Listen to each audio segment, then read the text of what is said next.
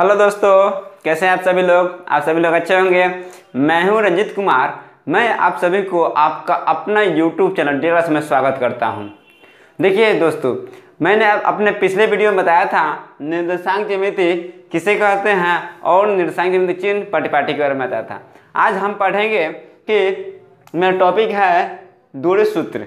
दूर सूत्र होगा इतना का है और इस पर सवाल बताएँगे। और देखिए, इस जो फॉर्मूला है दूर से तो इस पर सवाल बोर्ड एग्ज़ाम में पूछा करता है।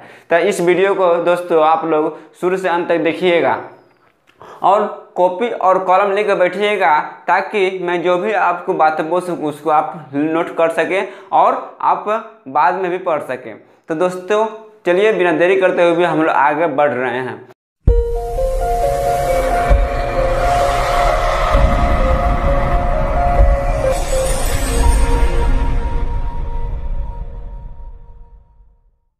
तो देखिए, ये मेरा पार्ट टू है।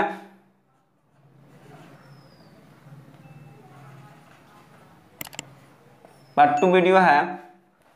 देखिए, दूर सूत्र का फॉर्मूला होता है, मान लीजिए कि कोई बिंदु ए है, जो है एक्स वन और वाई वन है, और कोई बिंदु बी है, जो एक्स टू और वाई टू है।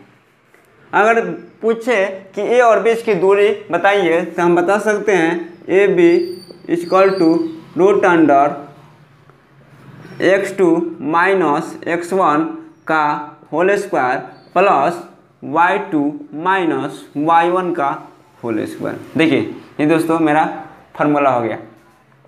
अब देखिए, इस पर सवाल कैसे आता है? क्वेश्चन आता है कि बिंदु ए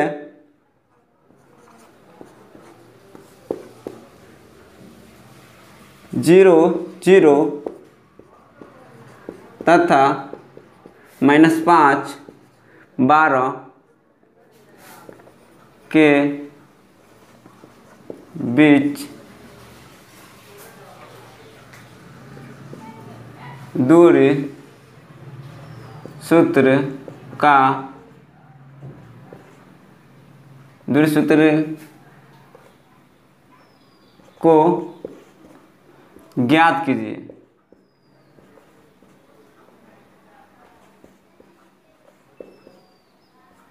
दूरी सूत्र को ज्ञात कीजिए। तो देखिए दोस्तों, सबसे पहले क्या लिखेंगे? सॉल्व लिखेंगे।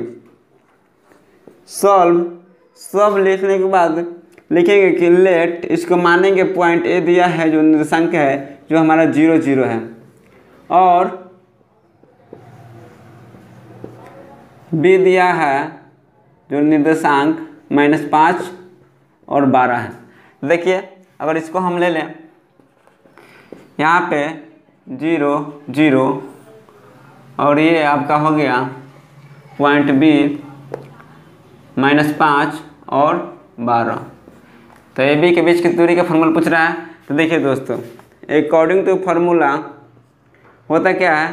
तो अगर पूछे ए बी निकालें ए बी इजक्ल टू हो जाएगा रूट अंडर फॉर्मूला क्या होता है? X two minus x one तो लिखेंगे x two minus x one का whole square plus y two minus y one का होल स्क्वायर देखिए दोस्तों एक्स टू एक्स टू आपका हो गया ये माइनस फाइव तो माइनस फाइव एक्स वन हो गया ज़ीरो तो ज़ीरो का whole square plus y two आपका हो गया बारह बारह वाई वन हो गया आपका ज़ीरो, का होल स्क्वायर। यहाँ से हो जाएगा आपका ज़ीरो, माइनस फाइव में से ज़ीरो जाएगा, माइनस फाइव का स्क्वायर आप प्लस बारह में ज़ीरो जाएगा तो बारह का स्क्वायर हो जाएगा आपका। यहाँ से निकलेगा, पाँच का स्क्वायर पच्चीस आप प्लस बारह का स्क्वायर एक सौ चौवालीस। अगर इसको निकालेंगे इसको जोड़ेंगे तो हो जाएगा एक सौ उनहत्तर एक सौ उनहत्तर का स्क्वायर करेंगे तो आपका हो जाएगा तेरह। ये आंसर हो जाएगा। देखिए दोस्तों, ये आप, आपका निकल गया आंसर निकल गया। अब हम पिछले वीडियो में पढ़े, अगला अगला नेक्स्ट वीडियो में पढ़ेंगे कि विभाजन सूत्र।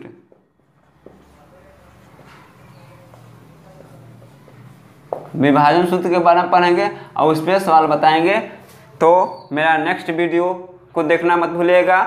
आप प्लीज़ अगर हमारा वीडियो आपको पसंद आ रहा है प्लीज़ लाइक करें शेयर करें और कमेंट करें। और अभी तक जो हमारे दोस्त हैं, जो इस चैनल को सब्सक्राइब नहीं किए हैं तो प्लीज़ सब्सक्राइब कर ले, ताकि जो भी हम लोग वीडियो अपलोड करें, उसका नोटिफिकेशन मिल मिल सके। तो मेरा वीडियो देखने के लिए आप सभी को बहुत बहुत धन्यवाद।